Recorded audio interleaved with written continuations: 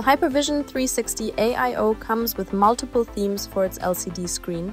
You can display live stats, temps, clock speeds, usage, even the system time and date, or switch to visual themes like planets, fantasy, or mountain wallpaper.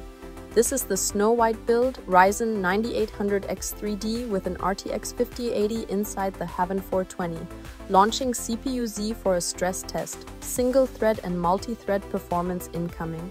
The CPU boosts past 5.25 GHz under full load, temps hold steady, peaking at 76 degrees Celsius, results in 778 single-thread, 8 on 447 multi-thread. Performance 8 out of 10. Cooling 8 out of 10. Design 9 out of 10. Overall 8.5 out of 10. Thermalright Hypervision 360. Clean look, useful monitoring, and pretty good cooling.